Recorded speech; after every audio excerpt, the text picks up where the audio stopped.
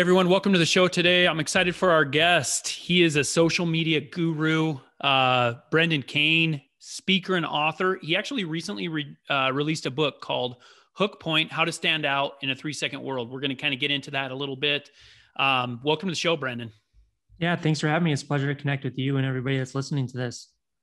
Yeah, so just um, just so you know, my audience is it consists mostly of um, entrepreneurs. I've got people that you know have you know several multi-million dollar businesses. I have people that they haven't you know made the leap yet. They're you know they're trying to get things in order so that they can kind of pull the trigger on their business.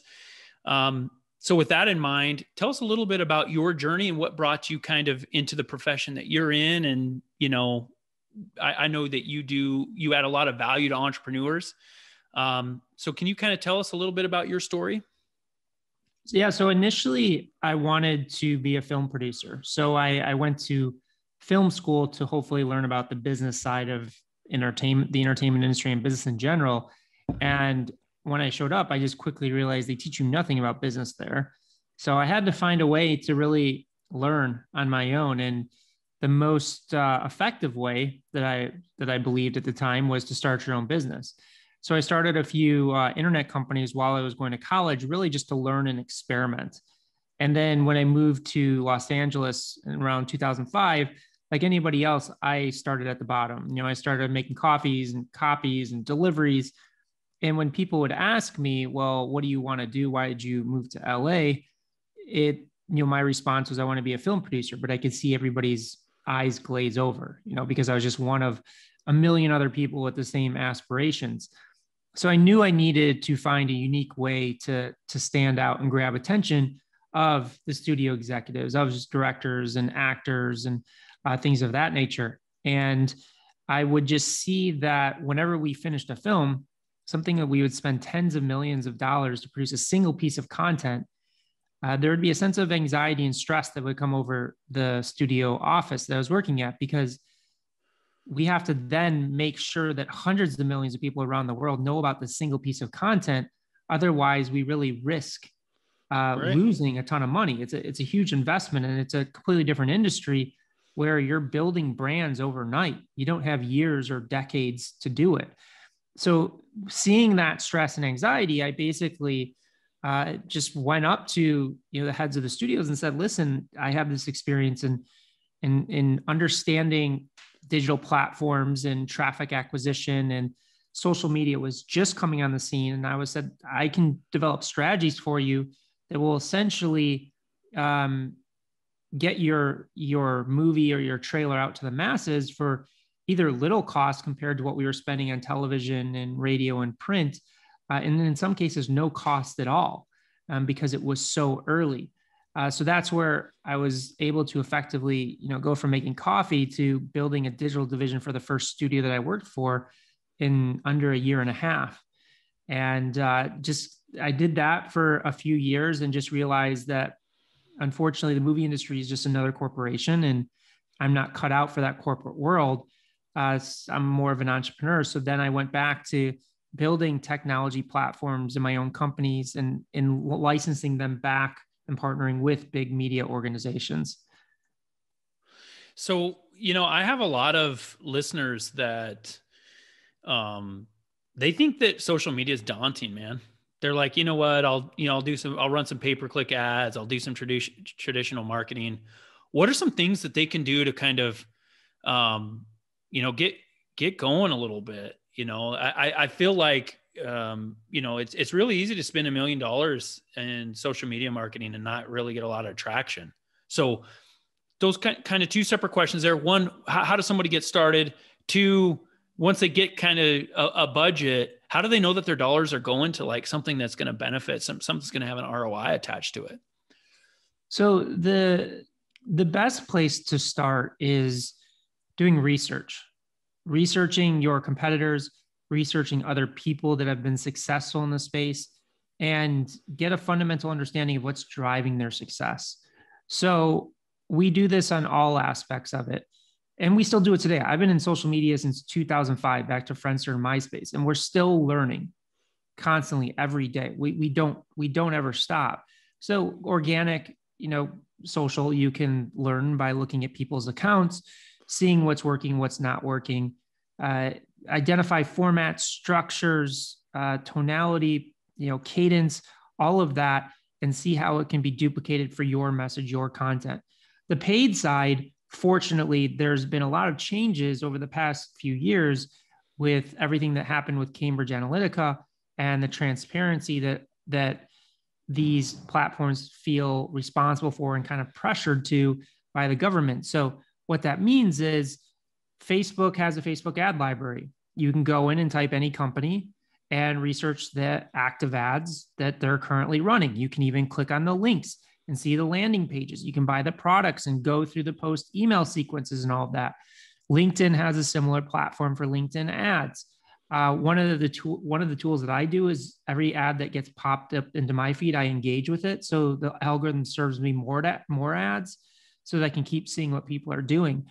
But the beauty of these platforms, especially when you talk about paid media, is it's attribution based. Like unless you're doing an offline sale, which you can still attribute back, it's a little bit more challenging, but there's platforms out there like a, a Wicked Reports and things like that that you can pipe right back into your CRM.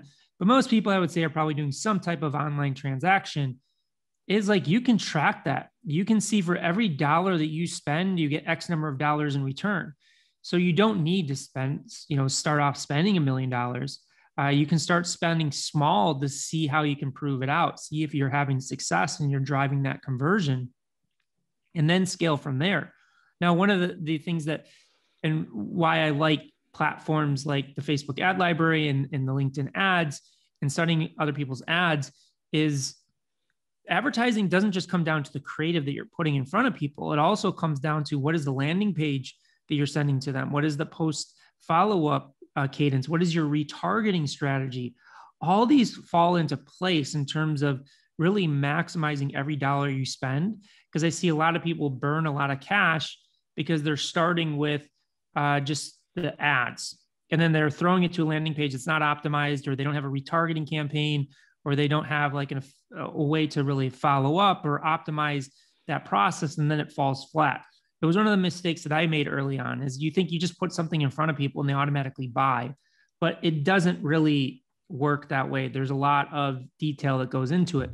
But to, to circle back to the original question, is it daunting? Sure, it is daunting. It's like anything that you want to get good at. It's like if you feel overwhelmed, that's a sign that you're on the right path. I still get overwhelmed sometimes in in this business as I'm learning but you just take it one step at a time. It's just like the first step is just study what other people are doing, use those references to guide you on what to do and what not to do, because those people have come before you and probably spent a ton of money figuring this out. And then you can leverage that expertise that they've kind of spent to to apply it to your brand. Yeah, and I love this idea of not reinventing the wheel, kind of going out there, seeing what's seeing what's out there a lot of my listeners are they're freaking busy, man. They're and they're and, and and a lot of them are they're entrepreneurs, so they're not really, and myself included, I'm not really an expert at anything. I'm just kind of good at a lot of different things, and I have I hire experts. That's what I do, and so, um, but somebody that doesn't have necessarily the resources to hire somebody, I don't know. Do, do you recommend that they kind of get into the nuts and bolts of this, or is it like? hey, m- maybe you hold off until you have the resources because it feels like um, there's just so much to it. Um, even the terminology that you toss around is super casual. A lot of my listeners aren't going to really understand what what those things are. Is this is this a field, a social media field, where it's complicated to the extent that um, you really need an expert? Uh, yes and no. I mean, listen, and, and I'm sure you you've gained this from your experience in entrepreneurs. You don't need to be an expert, but you need to be know enough to be dangerous. So it's like to me, I've seen people be burned by hiring experts. I've been burned by hiring 100%. Experts.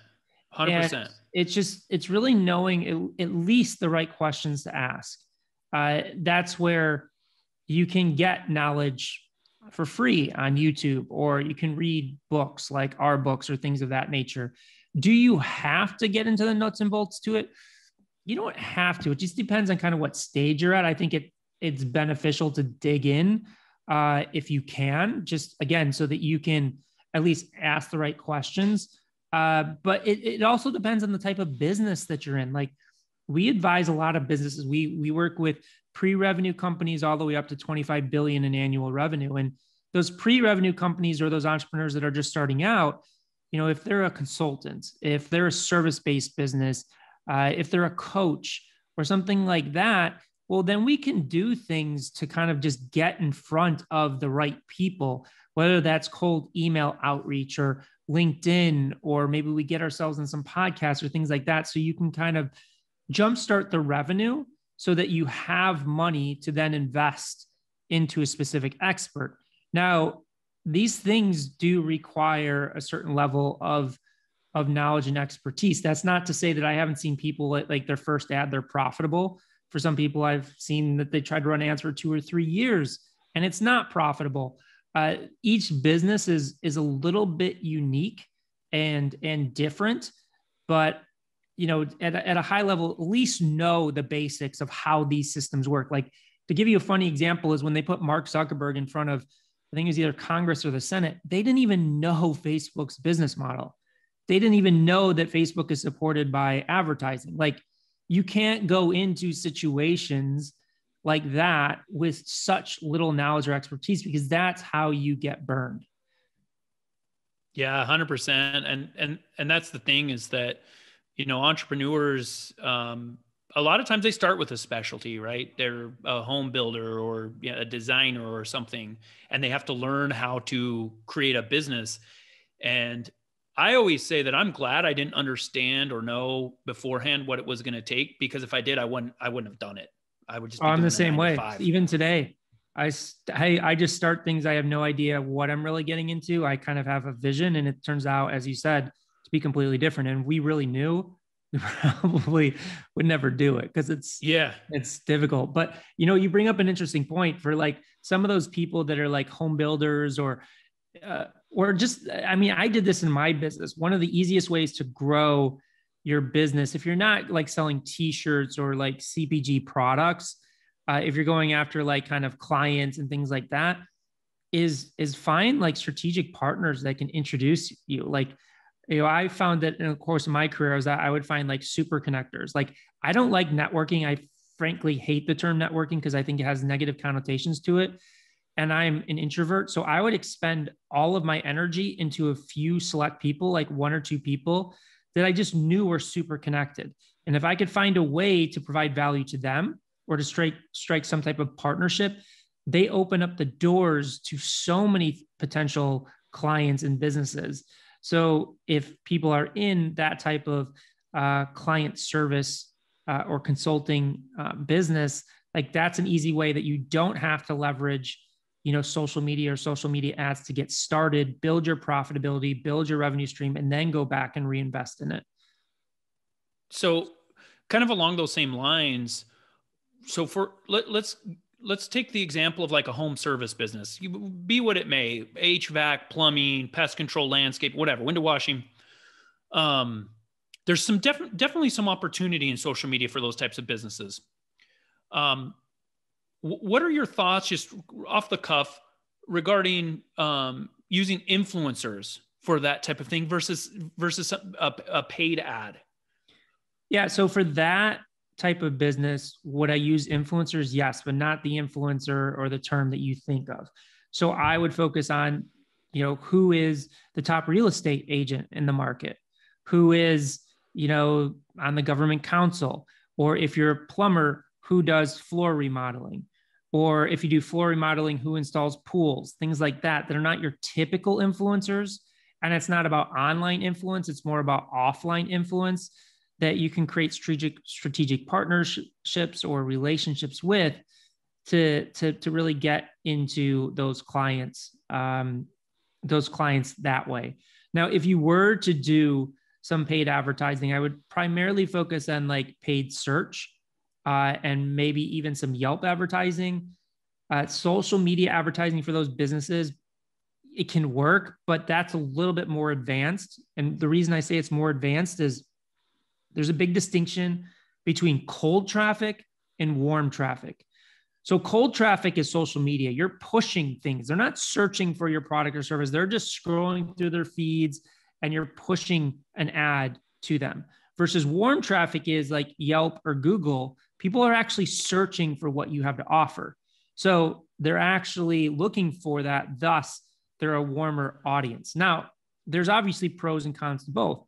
Warm traffic is typically far more expensive. So you're going to pay a higher cost right. per click, a higher cost per lead because they know that it's warm traffic and because there's uh, competition direct, directly for those keyword terms.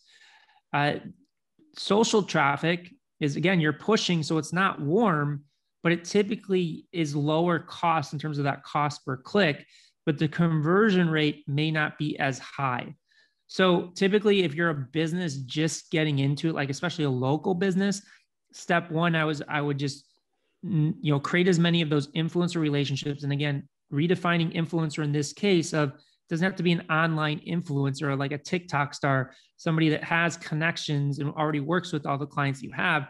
And then two, go after those warm traffic sources, pay per click advertising on the search engines and, and also places like Yelp.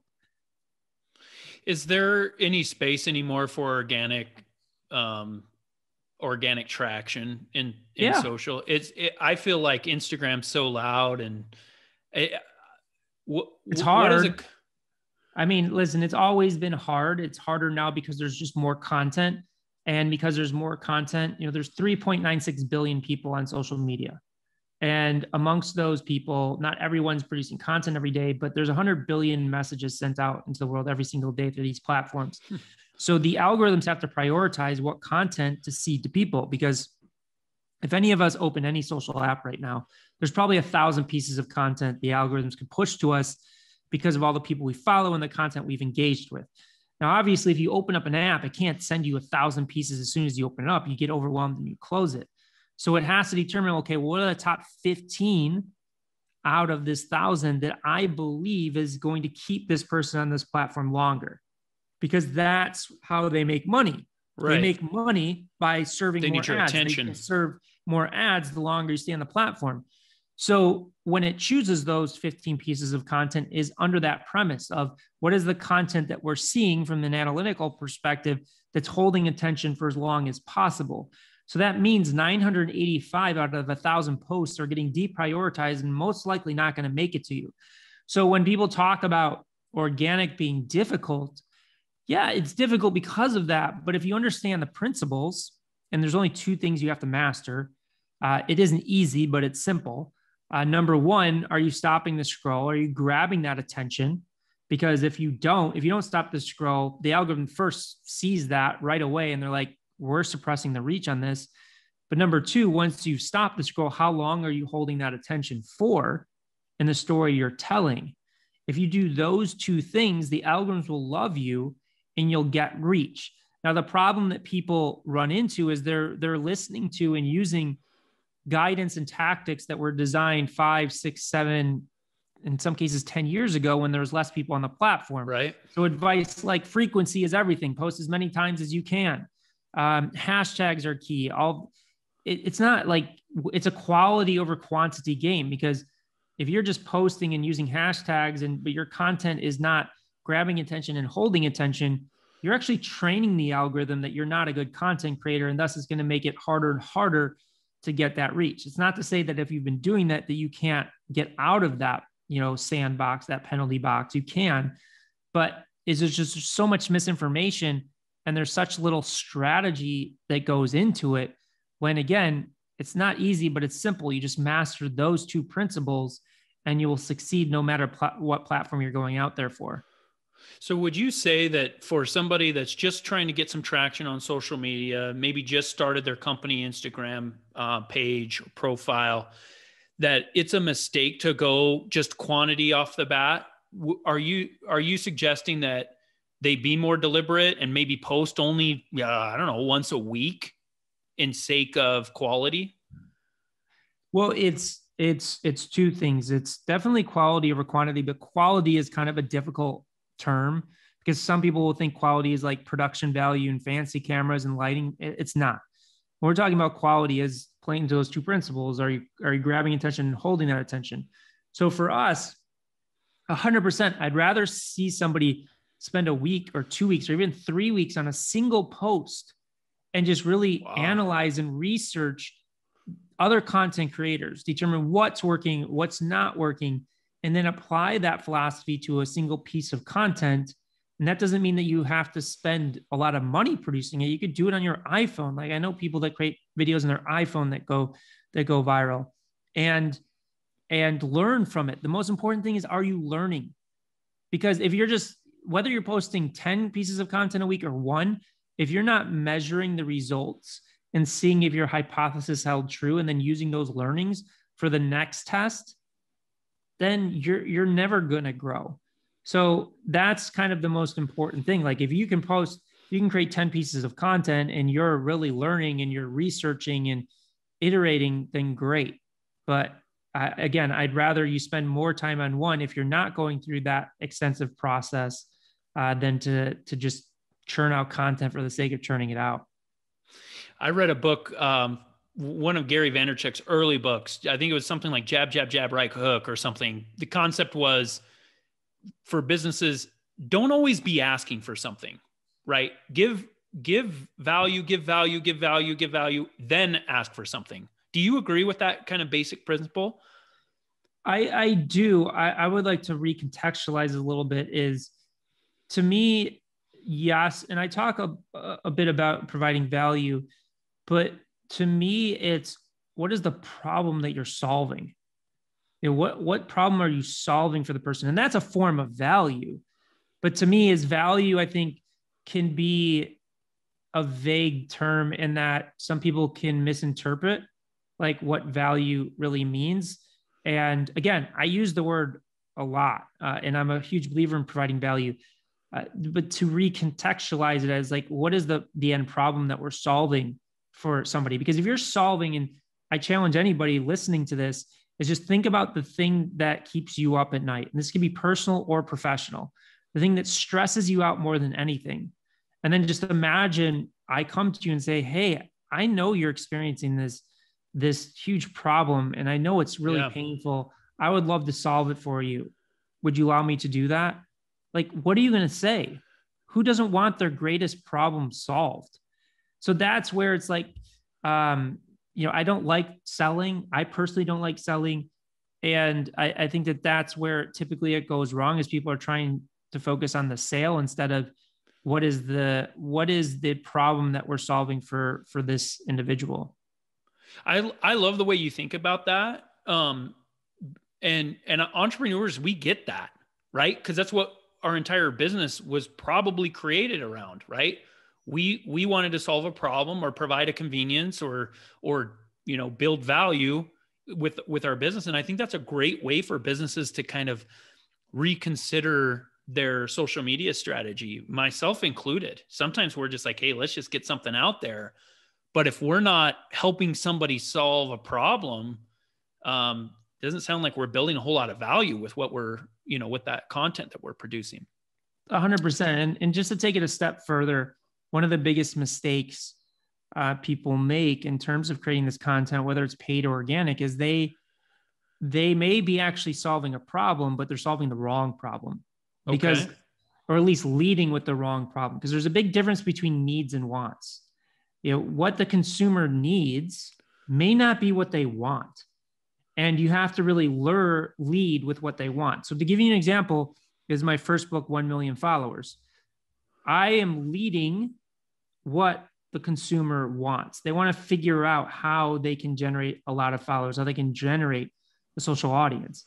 But what I know they need is they need to understand what testing is about, research that we just talked about, what hook points are, what um, strategic partnerships are, uh, how the value of a paid advertising platform, how to test content. But if I led with any of those, I probably would not have sold as many books. That's kind of boring. It's not what people yeah. want to hear, right? Yeah. It's... But if you start with, hey, if you really want followers, I can show you the way, but you need to learn these other things in order to master that. So I am still providing what I know the consumer needs, but I'm not leading with it. And that's where a lot of entrepreneurs and custom or um, consumer facing products and brands that we work with are often struggling to scale is they're they're tapping into a core audience that's already bought in. But as we all know like scale is going after the general audience and that's where we have to reposition and recontextualize the message to bring them to the the path that you know they need to have. But if you lead it oftentimes really causes issues yeah, and I, no, I'm on board 100%. And I wanted to switch gears um, for just a second before I do that. Um, what what do you say to people that are like, well, isn't that a bait and switch? Aren't we talking about like leading with something and then, um, you know, providing something else? No, because it's it's solving what they want. It's saying, like in my case, okay, you want followers, then I need to teach you these these five things so it's not completely, it's not a bait and switch at all because we're delivering on what they came for. We're just saying, in order to deliver that, you need to do these things. Now, if those things that you're saying that they need to do don't correlate to the result that they came in from, then yes, that's bait and switch. But it's definitely not. Like to give you another example, is like, let's just say you have a heart attack and you go into the doctor and he's you know says okay we really you really need to kind of relax yourself. You're under too much stress and anxiety. And that individual has always had a huge negative connotation towards meditation. He's like i am never going to do meditation. I don't believe in it or anything. And this guy goes to the doctor and you know he he basically almost dies. And the doctor's saying listen if you do not relax yourself you are going to die. And he's like okay doctor i will do whatever i have to do and then the doctor prescribes, well, you need to start meditating every day. I guarantee you that person is going to be far more receptive to meditation than they ever were because it's fulfilling a specific, you know, desire to stay alive. You know, and but the doctor's saying you need to do this. But if the doctor led before a heart attack and said, you need to meditate, and the guy yeah. hates meditation, he's probably not going to be, you know, receptive to it. Great. Yeah, no, makes 100% sense there. So I read something that said that TikTok was the number one downloaded app last year in 2020. Um, I was surprised a little bit by that. Um, I want to get your thoughts about TikTok, and I wanted to get um, your thoughts also in the context. So, your overall thoughts, and then also in the context for entrepreneurs. Is there room for businesses on TikTok?